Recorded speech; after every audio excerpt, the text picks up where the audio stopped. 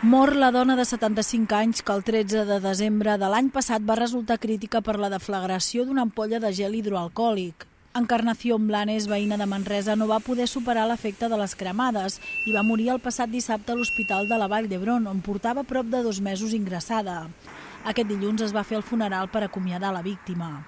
Recordem que els fets van ocórrer el 13 de desembre del 2020, quan la dona i el seu espòs de 76 anys van resultar ferits a causa de la deflagració d'una ampolla de gel hidroalcohòlic que es trobava prop d'una font de calor a la cuina de casa seva, en un pis del carrer Sant Cristòfol de Manresa.